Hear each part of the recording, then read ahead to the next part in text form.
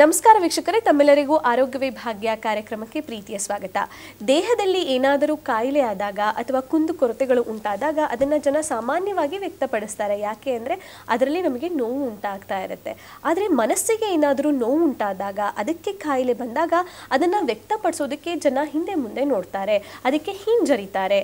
ಭಯ ಮತ್ತೆ ಆತಂಕ ಅನ್ನೋದು ಮನಸ್ಸಿನ ಮೇಲೆ ಯಾವ ರೀತಿಯಾದಂತಹ ಪರಿಣಾಮವನ್ನ ಬೀರುತ್ತೆ, ನಮ್ಮ ಜೀವನ ಹೇಗೆ ಅಸ್ತವ್ಯಸ್ತ ಮಾಡುತ್ತೆ ಅನ್ನೋದನ್ನ ಹಿಂದಿನ ಸಂಚಿಕೆಯಲ್ಲಿ ನಾವು ವಿಸ್ತಾರವಾಗಿ ತಿಳ್ಕೊಂಡಿದ್ವಿ. ಇವತ್ತು ಕೂಡ ಭಯ ಮತ್ತೆ ಆತಂಕ ನಮ್ಮ ಜೀವನವನ್ನ ಹೇಗೆ ಹಾಳು ಮಾಡಬಹುದು ಅದಕ್ಕೆ ಪರಿಣಾಮ ಏನು ಪರಿಹಾರ ಏನು ಎಲ್ಲವನ್ನ ತಿಳ್ಕೊಳ್ಳೋಣ. ಇದನ್ನೆಲ್ಲ ತಿಳಿಸ್ಕೊಡೋದಕ್ಕೆ ನಮ್ಮ ಜೊತೆ ಇದ್ದಾರೆ ಡಾಕ್ಟರ್ ಮುರಳಿ ಬಿ. ಲತಾ ಶಶಿಧರ್ ಅವರು. ಇವರು ಫಿಂಗರ್ ಪ್ರಿಂಟ್ ಅನಾಲಿಸಿಸ್ ಹಾಗೆ ಯೂನಿಕ್ ಟ್ರುತ್ನ ಸಂಸ್ಥಾಪಕರು. ಬನ್ನಿ ಅವ್ರನ್ನ ಕಾರ್ಯಕ್ರಮಕ್ಕೆ ಸ್ವಾಗತ ಮಾಡೋಣ. ಸರ್ ಕಾರ್ಯಕ್ರಮಕ್ಕೆ ಪ್ರೀತಿಯ ಸ್ವಾಗತ. ನಮಸ್ತೆ. ನಮಸ್ತೆ ಮೇಡಮ್. ಸರ್ ಭಯದ ಬಗ್ಗೆ ಸಾಕಷ್ಟು ವಿಚಾರಗಳನ್ನ ನೀವು ಕಳೆದ ಸಂಚಿಕೆಯಲ್ಲಿ ತಿಳಿಸ್ಕೊಟ್ಟಿದ್ದೀರಾ.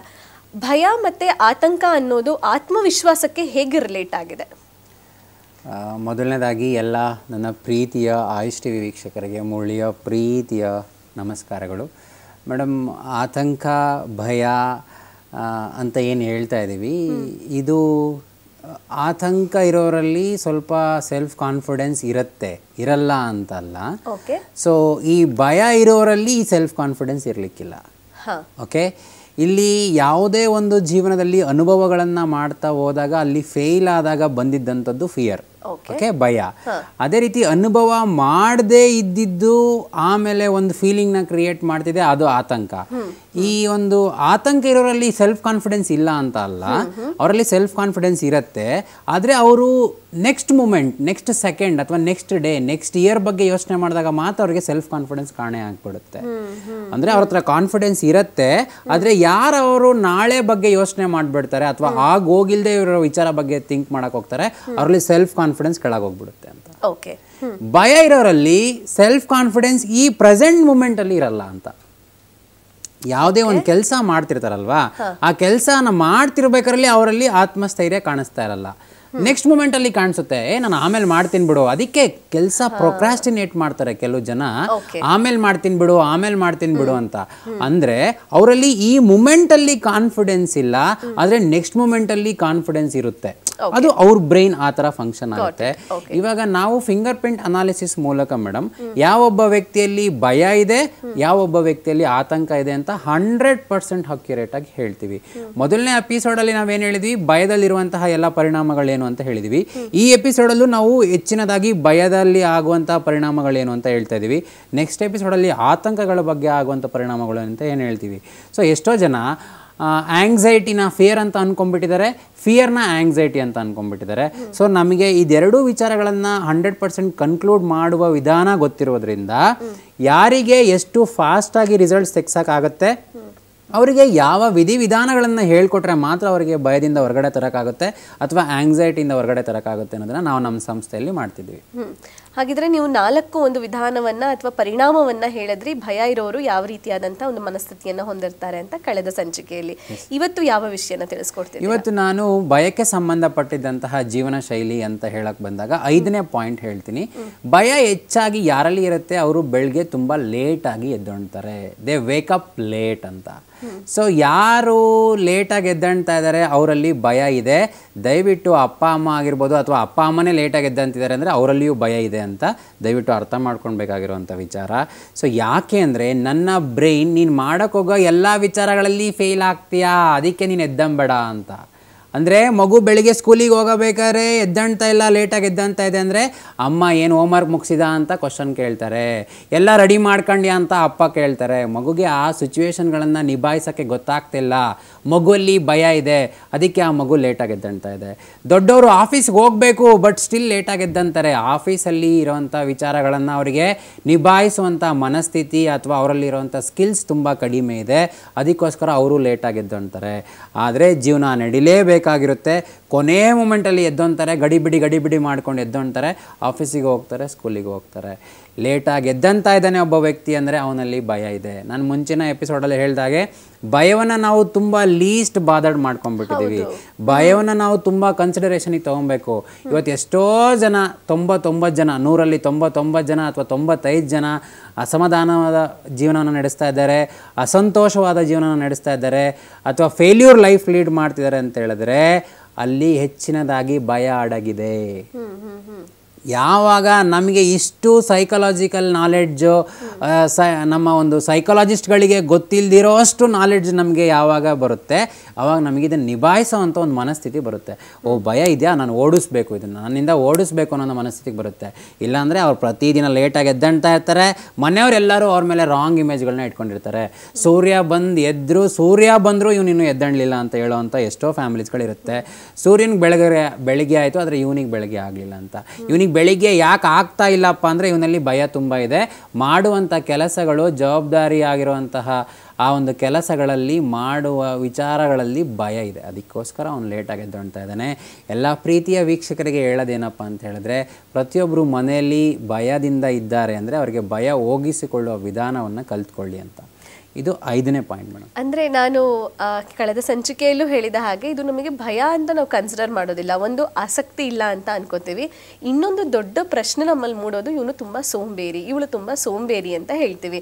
ಸೊ ಇದು ಎರಡೂ ನಾವು ಅನ್ಕೋತೀವಿ ಹೊರತು ಇದು ಭಯ ಅಂತ ಕನ್ಸಿಡರ್ ಮಾಡೋದಿಲ್ಲ. ಹಾಗಿದ್ರೆ ಇದಕ್ಕೆ ಮೂಲ ಕಾರಣ ಭಯ ಅಂತ ನಾವು ಹೇಳ್ತಾ ಇದ್ದೀರಾ? ಹೌದು ಮೇಡಮ್. ಇದನ್ನ ಸ್ವಲ್ಪ ಎಲ್ರಿಗೂ ಅರ್ಥ ಆಗೋ ತರ ಒಂದು ವಿತ್ ಎಕ್ಸಾಂಪಲ್ಸ್ ಹೇಳ್ತೀನಿ. ಇವಾಗ ಒಂದು ಮರ ಇರುತ್ತೆ ಅಂತ ಅಂದ್ಕೊಳ್ಳಿ. ಮರದಲ್ಲಿ ಏನೇನಿರುತ್ತೆ ರೆಂಬೆ ಕೊಂಬೆಗಳಿರುತ್ತೆ ಹೂವಿರುತ್ತೆ ಎಲೆ ಇರುತ್ತೆ ಆಮೇಲೆ ಹೂವಾಗೋದಕ್ಕಿಂತ ಮುಂಚೆ ಅದು ಮೊಗ್ಗಿರುತ್ತೆ ಅದಾದ್ಮೇಲೆ ಕಾಯಿ ಆಗುತ್ತೆ ಅದಾದ್ಮೇಲೆ ಹಣ್ಣಾಗುತ್ತೆ. ಇದು ಮರದ ಎಷ್ಟೋಕೊಂದು ವಿಚಾರಗಳು ಅಲ್ವಾ? ಅದೇ ರೀತಿ ಭಯ ಅನ್ನೋದು ಒಂದಿದೆ ಅಂದರೆ ಅದು ಮರ ಥರ ಈ ಉಳ್ದಿದ್ದೆಲ್ಲ ನೀವು ಹೇಳಿದ್ರಲ್ಲ, ಆಸಕ್ತಿ ಇಲ್ಲದೆ ಇರೋವಂಥದ್ದು ಅವನು ಸೋಂಬೇರಿ ಆಗಿದ್ದಾನೆ ಅಂತ ಹೇಳೋದು, ಅಥವಾ ಕೆಲಸ ಮಾಡದೇ ಇರೋದು, ಇವೆಲ್ಲ ರೆಂಬೆ ಕೊಂಬೆಗಳು ಹೂವು ಹಣ್ಣು ಕಾಯಿ ಥರ ಅಂದರೆ ಈ ಭಯ ಅನ್ನೋದು ಮೂಲ ಅನ್ನೋ ಥರ ಈ ಮೂಲವನ್ನ ನಾವು ಸರಿಯಾಗಿ ಅರ್ಥ ಮಾಡಿಕೊಂಡು ಆ ಭಯವನ್ನ ತೆಗೆದಾಕ್ಬಿಟ್ವಿ ಅಂದರೆ, ಈ ಥರ ನೀವು ಏನೇನೆಲ್ಲ ಕ್ವಾಲಿಟೀಸ್ಗಳನ್ನ ಒಬ್ಬ ವ್ಯಕ್ತಿಯಲ್ಲಿ ನೋಡ್ತಾ ಇರ್ತೀರಲ್ಲ, ಆ ಥರ ಕ್ವಾಲಿಟಿಗಳು ರಾಂಗ್ ಕ್ವಾಲಿಟೀಸ್ ಅಥವಾ negative qualities which are not helping to any person success ಯಾವುದು ಆ ವ್ಯಕ್ತಿಯ ಜೀವನದಲ್ಲಿ ಗೆಲ್ಲಲಿಕ್ಕೆ ಸಹಾಯ ಮಾಡ್ತಾ ಇಲ್ಲ, ಅವೆಲ್ಲ ಬೈ ಪ್ರಾಡಕ್ಟ್ಸ್ಗಳನ್ನು ನಾವು ತೆಗೆದಾಕ್ಬಿಡ್ಬೋದು. ಯಾವಾಗ? ಭಯವನ್ನು ತೆಗೆದಾಕ್ದಾಗ. ಭಯ ಇರುವಂಥ ವ್ಯಕ್ತಿನೇ ಸ್ವಲ್ಪ ಲೇಜಿ ಆಗಿರ್ತಾನೆ, ಸೋಂಬೇರಿ ಅಂತ. ಅವನಿಗೆ ಭಯ ಹೋಗ್ಸೋ ತನಕ ಅವನು ಲೇಜಿನೆಸ್ಸಿಂದ ಹೊರಗಡೆ ಬರಲಿಕ್ಕೆ ಸಾಧ್ಯವೇ ಇಲ್ಲ. ಸಾಧ್ಯವೇ ಇಲ್ಲ ಅಂತಿದ್ದೀರಾ ಮುರಳಿ ಬಟ್ ಎಲ್ಲದಕ್ಕೂ ಸೊಲ್ಯೂಷನ್ ಕೊಡ್ತೀರಾ? ಹೌದು. ಪ್ರತಿಯೊಬ್ಬ ವ್ಯಕ್ತಿಗೆ ಯಾವ ರೀತಿ ಭಯ ಓಡಿಸಬೇಕು, ಆ ಬ್ರೈನಿಗೆ ಯಾವ ಥರ ಇನ್ಪುಟ್ ಕೊಡಬೇಕು, ಅದೇ ರೀತಿ ಕೊಟ್ಟಾಗ ಮಾತ್ರ ಅದು ಭಯ ಹೋಗುತ್ತೆ. ಸೊ ಫ್ಯೂಚರಲ್ಲಿ ಮತ್ತೆ ಫಿಯರ್ಸ್ಗಳು ಕ್ರಿಯೇಟ್ ಆಗಲ್ಲ. ಅವ್ನ ಲೈಫನ್ನು ಅವನು ಸಕ್ಸಸ್ಫುಲ್ಲಾಗಿ ಮಾಡ್ತಾನೆ. ಇವಾಗ ಎಷ್ಟೋ ಕೊಂಚ ಜನ ಯಾಕೆ ಟ್ರೈನಿಂಗ್ ಪ್ರೋಗ್ರಾಮ್ಸ್ಗಳನ್ನು ಅಟೆಂಡ್ ಮಾಡ್ತಾರೆ, ಮತ್ತು ಸೈಕಾಲಜಿಸ್ಟ್ಗಳ ಹತ್ರ ಹೋಗಿ ಯಾಕೆ ಗೈಡ್ಲೈನ್ಸ್ಗಳನ್ನ ತೊಗೊಳ್ತಾರೆ ಅಂತ ಹೇಳಿದ್ರೆ, ಭಯವನ್ನು ನಿರ್ಮೂಲನೆ ಮಾಡುವಂತಹ ವಿಧಿವಿಧಾನಗಳು ಅವ್ರಿಗೆ ಗೊತ್ತಿರುತ್ತೆ. ಸೊ ಅವರು ಭಯಗಳನ್ನು ನಿಭಾಯಿಸ್ಬಿಡ್ತಾರೆ ಅದಾದಮೇಲೆ ಅವರಿಗೆ ಸಕ್ಸಸ್ ಯಾಕೆ ಸ್ಟಾರ್ಟ್ ಆಗುತ್ತೆ. ಓಕೆ ಇವಾಗ ಆರನೆಯ ವಿಚಾರ ಏನು ಅಂತ ಹೇಳ್ತೀನಿ ಭಯ ಇರೋರಲ್ಲಿ. ಭಯ ಹೆಚ್ಚಾಗಿರೋರಲ್ಲಿ ಸ್ಕೂಲಿಗೆ ಹೋಗೋದು ಕಾಲೇಜ್ ಬಂಕ್ ಮಾಡುವಂಥದ್ದು ಹಾಗೂ ಕೆಲಸಗಳಿಗೆ ಹೋಗಿರೋದು ಹೋಗುವಂಥದ್ದನ್ನು ತಪ್ಪಿಸುವಂಥದ್ದು ಇವೆಲ್ಲದೂ ಕೂಡ ಫಿಯರ್ ಇರೋವಂಥವ್ರು ಮಾಡ್ತಾರೆ ಅಂತ. ಇವಾಗ ಕೆಲವು ಮಕ್ಕಳು ಶಾಲೆಗೆ ಹೋಗೋದನ್ನು ಬಂಕ್ ಮಾಡೋದು ಯಾವ ರೀತಿ ಅಂದರೆ ನನಗೆ ಹೊಟ್ಟೆ ನೋವ್ತಾ ಇದೆ ನನಗೆ ತಲೆ ನೋವ್ತಾ ಇದೆ ಅಂತ ಏನೇನೋ ಕಾರಣಗಳನ್ನು ಹೇಳಿ ಅವರು ಶಾಲೆಗೆ ಹೋಗೋದನ್ನು ತಪ್ಪು ಮಾಡೋದು ಅಂತ ಹೇಳ್ತೀವಿ. ಬಂಕಿಂಗ್ ಅಂದ ತಕ್ಷಣ ಓ ಮಕ್ಕಳು ಸಿನಿಮಾಗೆ ಹೋಗೋದು ಆ ಥರ ಬಂಕಿಂಗ್ ಅಂತ ಅಲ್ಲ. They don't like to go to school ಅಂತ. So don't like to go to work place ಅಂತ. ಬಿಕಾಸ್ ಇದರಲ್ಲಿ ಭಯ ಹೆಚ್ಚಾಗಿದೆ. ಅದಕ್ಕೋಸ್ಕರವಾಗಿ ಒಂದಲ್ಲ ಒಂದು ಹೆಲ್ತ್ ಇಶ್ಯೂಗಳನ್ನು ಮಧ್ಯೆ ತೊಗೊಂಡು ಬರ್ತಾನೆ ವ್ಯಕ್ತಿ. ಯಾಕೆ ಇವನು ಹೆಲ್ತ್ ಇಶ್ಯೂಗಳನ್ನು ಮಧ್ಯೆ ತೊಗೊಂಡು ಬರ್ತಾನಪ್ಪ ಅಂದರೆ ಅವತ್ತಿನ ದಿನ ನಾವು ಆರಾಮಾಗಿ ಹಾಸ್ಪಿಟ್ಲಿಗೆ ಹೋಗಿ ರೆಸ್ಟ್ ಮಾಡಿಬಿಡ್ಬೋದು. ಒಂದು ನಮಗೆ ಹೊಟ್ಟೆ ನೋತಿದೆ ಅಂದರೆ ಅದು ಯಾಕೆ ಬಂತು ಅಂತ ಯಾವ ಡಾಕ್ಟರು ಹೇಳಲ್ಲ. ಅವ್ರು ಹೇಳ್ತಾರೆ ಇನ್ನೊಂದು ಸ್ವಲ್ಪ ಜಾಸ್ತಿ ತಿಂದಿರ್ತೀಯ ಅಥವಾ ಅನಾವಶ್ಯಕವಾಗಿರೋದು ತಿಂದ್ಬಿಟ್ಟಿರ್ತೀಯ ಅದಕ್ಕೆ ನೀನು ಹೊಟ್ಟೆ ಹಿಂಗೆ ಆಗ್ಬಿಟ್ಟಿದೆ ಅಂತ ಹೇಳ್ತಾರೆ. ಆ ವ್ಯಕ್ತಿಯ ದೇಹ ಹೆಂಗೆ ರಚನೆ ಆಗಿರುತ್ತೆ ಅಂದರೆ, ಅವನಿಗೆ ಭಯ ಆಯಿತು ಅಂದರೆ ಹೊಟ್ಟೆ ನೋವನ್ನ ತನಗೆ ತಾನು ಬೇಕಾಗಿರೋದನ್ನೇ ತಗೊಳ್ತಾನೆ ಅದೇನು ಅವ್ನು ಹೆಚ್ಚು ಕಡಿಮೆ ಏನು ತಿಂದಿರಲ್ಲ, ಎಲ್ಲರೂ ತಿಂದಿರೋಂಗೆ ಕರೆಕ್ಟಾಗಿ ತಿಂದಿರ್ತಾನೆ. ಆದರೆ ಅವನು ಒಂದು ಸರಿಯಾದ ಒಂದು ಬಲಿಷ್ಠವಾದಂಥ ಕಾರಣವನ್ನು ಹುಟ್ಟಾಕೊಂಡಿರ್ತಾನೆ. ಯಾವಾಗ ಅಪ್ಪ, ಅಮ್ಮ ಅದಕ್ಕೆ ಒಪ್ತಾರೆ ಅಂತ. ಕೆಲವು ಮಕ್ಳುಗಳು ಏನು ಮಾಡ್ತಾರೆ, ಆಟ ಆಡಬೇಕಾದ್ರೆ ಸುಮ್ಮ ಸುಮ್ಮನೆ ಬೀಳ್ದ್ಬಿಡ್ತಾರೆ. ಬಿದ್ದು ಕಾಲು ನೋವ್ತಾ ಇದೆ, ಕೈ ನೋವ್ತಾ ಇದೆ ಕೈ ಹಿಂಗಾಗಿದೆ ನಡೆಯೋಕ್ಕಾಗ್ತಾ ಇಲ್ಲ, ತುಂಬ ನೋವ್ತಿದೆ ಅಂತ ರೀಸನ್ಗಳನ್ನ ಹೇಳ್ತಾ ಹೋಗ್ತಾರೆ. ಅಯ್ಯೋ, ಈ ಥರದ್ದೆಲ್ಲ ನಡೆಯುತ್ತಾ? ಹೌದು, ಬ್ರೈನ್ ಕೆಲಸ ಮಾಡಿಸೋದೇ ಇದೇ ರೀತಿ. ಭಯದಿಂದ ಹೊರಗಡೆ ಬರೋಕ್ಕೆ ಇಷ್ಟೆಲ್ಲ ಪ್ರಯತ್ನಗಳನ್ನು ರಾಂಗ್ ವೇಯಲ್ಲಿ ಇದು ಮಾಡುತ್ತೆ. ನಾವು ಯಾವಾಗ ಮಗುವಲ್ಲಿ ಭಯನ ಹೋಗಿಸ್ಬಿಡ್ತೀವಿ, ಈ ರೀತಿ ರಾಂಗ್ ಥಿಂಗ್ಸ್ಗಳೆಲ್ಲ ಏನೂ ಆಗಲ್ಲ. ಮಗು ಬೀಳೋದು ಇಲ್ಲ, ಅನಾವಶ್ಯಕ ಹೊಟ್ಟೆ ನೋವು ಬರಲ್ಲ, ಅನಾವಶ್ಯಕ ತಲೆನೋವು ಬರಲ್ಲ, ಯಾವುದೇ ರೀತಿ ಪ್ರಾಬ್ಲಮ್ಸ್ ಇರಲ್ಲ. ಇವೆಲ್ಲ ಭಯದಿಂದ ಹಾಕ್ತಿರುವಂಥ ವಿಚಾರಗಳು. ಇದು ನಮ್ಮ ಪೋಷಕರಾಗಿರಲಿ ಅಥವಾ ಟೀಚರ್ಸ್ ಆಗಿರಲಿ ತಿಳ್ಕೊಳೋದು ತುಂಬ ತುಂಬ ಇಂಪಾರ್ಟೆಂಟ್ ನಾವು ಯಾಕೆ ಇಷ್ಟೆಲ್ಲ ಅಧ್ಯಯನ ಮಾಡೋಕ್ಕಾಗ್ತಿದೆ ಅಂದರೆ ನಮಗೆ ನೂರಾರು ಜನಗಳು ಹತ್ತಾರು ಜನಗಳು ಪ್ರತಿನಿತ್ಯ ನಾವು ಮೀಟ್ ಮಾಡ್ತಾ ಇರ್ತೀವಿ ಇವ್ರ ಹತ್ರ. ಇವ್ರು ಯಾಕೆ ಹಿಂಗೆ ಬಿಹೇವ್ ಮಾಡ್ತಿದ್ದಾರೆ ಬಟ್ ನನ್ನ ಫಿಂಗರ್ ಪ್ರಿಂಟ್ ಅನಾಲಿಸಿಸ್ ಮೂಲಕ ಅವ್ರ ರಿಪೋರ್ಟಲ್ಲಿ ಹೇಳ್ತಿರೋದೇ ಒಂದು ಅವ್ರು ಇಲ್ಲಿ ಮಾಡ್ತಾ ಇರೋದಂಥದ್ದೇ ಒಂದು. ಇವ್ರು ಇಲ್ಲಿ ಏನೋ ಮಾಡ್ತಾ ಇದ್ದಾರಪ್ಪ ಅಂತ ಹೇಳಿದ್ರೆ ಇದೆಲ್ಲ ಭಯದಿಂದ ಮಾಡ್ತಾ ಇದ್ದಾರೆ ಜೀವನದಲ್ಲಿ ಅಂತ. ಇವ್ರದ್ದು ಒರಿಜಿನಲ್ ಕ್ವಾಲಿಟೀಸ್ ಯಾರದೇ ಒಬ್ಬ ಫಿಂಗ್ ವ್ಯಕ್ತಿಯ ಫಿಂಗರ್ ಪ್ರಿಂಟ್ ಅನಾಲಿಸಿಸ್ ನಾವು ಮಾಡಿದಾಗ ಯಾವ ಒಬ್ಬ ವ್ಯಕ್ತಿಗೂ ನೆಗೆಟಿವ್ ಕ್ವಾಲಿಟೀಸ್ ಅಂತ ಇರಲ್ಲ. ಅವನು ತನ್ನ ಜೀವನ ಶೈಲಿಯಲ್ಲಿ ಸುತ್ತಮುತ್ತ ವಾತಾವರಣದ ಮೂಲಕ ಅವನು ಈ ಥರ ನೆಗೆಟಿವ್ ಕ್ವಾಲಿಟೀಸ್ಗಳನ್ನ ಬೇರೆಯವರಿಂದ ಅಕ್ವೈರ್ ಮಾಡ್ಕೊಂಡ್ಬಿಟ್ಟಿರ್ತಾನೆ. ಅವರು ಹೆಂಗೆ ನಾಟಕ ಮಾಡ್ತಿರ್ತಾರೆ ಇವರು ಹಂಗೆ ನಾಟಕ ಮಾಡ್ತಿರ್ತಾರೆ. ಸೊ ಆ ನಾಟಕ ಮಾಡಿದರೆ ಸೇಫ್ ಸೆಕ್ಯೂರ್ ಅಂತ ಗೊತ್ತಾಗ್ಬಿಟ್ಟಿದೆ. ಅದಕ್ಕೆ ಈ ಬ್ರೈನು ಕೂಡ ಇದೇ ಥರ ನಾಟಕ ಮಾಡಬೇಕು ಅಂತ ಪ್ಲಾನಿಂಗ್ ಮಾಡ್ಕೊಂಡು ಬಿಡುತ್ತೆ ಅವ್ರು ಮಾಡ್ತಿರೋದಕ್ಕಿಂತ ಕೆಲವೊಂದ್ಸತಿ ವಿಭಿನ್ನವಾಗೂ ಮಾಡ್ತಾರೆ. ಅವರ ಕ್ರಿಯೇಟಿವಿಟಿ ಯಾವ ಥರ ಇದೆ ಅದ್ರ ಪ್ರಕಾರನೇ ಮಾಡ್ತಾ ಹೋಗ್ಬಿಡ್ತಾರೆ. ಸೊ ಹಾಗಿರಬೇಕಾದ್ರೆ ವ್ಯಕ್ತಿಯಲ್ಲಿ ಭಯ ಇದೆನಾ ಇಲ್ವಾ ಆತಂಕ ಇದೆನಾ ತಿಳ್ಕೊಳೋದು ತುಂಬ ಇಂಪಾರ್ಟೆಂಟು ಸೊ ಯಾವುದೇ ರೀತಿಯಾಗಿ ಮನೆಯಲ್ಲಿ ಮಕ್ಕಳಾಗಿರ್ಬೋದು ಅಥವಾ ದೊಡ್ಡವರಾಗಿರ್ಬೋದು ಒಂದಲ್ಲ ಒಂದು ಪ್ರಾಬ್ಲಮ್ಸ್ಗಳನ್ನು ಕ್ರಿಯೇಟ್ ಮಾಡ್ಕೊಳ್ತಾ ಇದ್ದಾರೆ ಅಥವಾ ಪ್ರಾಬ್ಲಮ್ ಕ್ರಿಯೇಟ್ ಆಗ್ತಾ ಇದೆ ತಿಳಿದು ಅಥವಾ ತಿಳಿಯದೆ ಅಂದರೆ ಅಲ್ಲಿ ಭಯ ಇದೆ. ಇದನ್ನು ನಾವು ಓಡಿಸಬೇಕು. ಹಾಗಿದ್ರೆ ಈ ಭಯವನ್ನ ಓಡಿಸಿದ್ರೆ ಇದೆಲ್ಲದಕ್ಕೂ ಪರಿಹಾರ ಸಿಗುತ್ತೆ ಹಾಗಿದ್ರೆ. Hundred percent madam. ನಾವು ಹೇಳ್ತೀವಲ್ಲ, ಒಂದು ಮರ ಫಸಲು ಕೊಡಬೇಕು ತುಂಬ ಚೆನ್ನಾಗಿ ಅಂದರೆ ರೂಟನ್ನು ನಾವು ಚೆನ್ನಾಗಿಡಬೇಕು, ನೆಲ ತುಂಬ ಚೆನ್ನಾಗಿರಬೇಕು. ಅದಕ್ಕೆ ನಾವು ಯಾವ ರೀತಿ ಗೊಬ್ಬರ ಕೊಡ್ತಿದ್ದೀವಿ ಅನ್ನೋದು ಮಾತ್ರ ಫಲಗಳನ್ನು ನಿರ್ಣಯ ಮಾಡುತ್ತೆ ವಿನಃ ನಾವು ಸುಮ್ಮನೆ ಕುತ್ಕೊಂಡು ಫಲ ಬಿಡ್ತಾ ಇಲ್ಲ, ಅಯ್ಯೋ, ಇಂಥ ರೋಗ ಬಂದಿದೆ, ಅಂಥ ರೋಗ ಬಂದಿದೆ ಅಂತ ಗಿಡನ ಮರನ ನಾವು ಬ್ಲೇಮ್ ಮಾಡ್ತಾ ಇದ್ರೆ ಯೂಸ್ಲೆಸ್ ಎಷ್ಟೋ ಜನ ತಿಳಿದು, ತಿಳಿಯದೆ ಇದೇ ರೀತಿ ಬ್ಲೇಮಿಂಗ್ ಮತ್ತು ಕಂಪ್ಲೇನಿಂಗ್ ಲೈಫನ್ನು ಲೀಡ್ ಮಾಡ್ತಿದ್ದಾರೆ.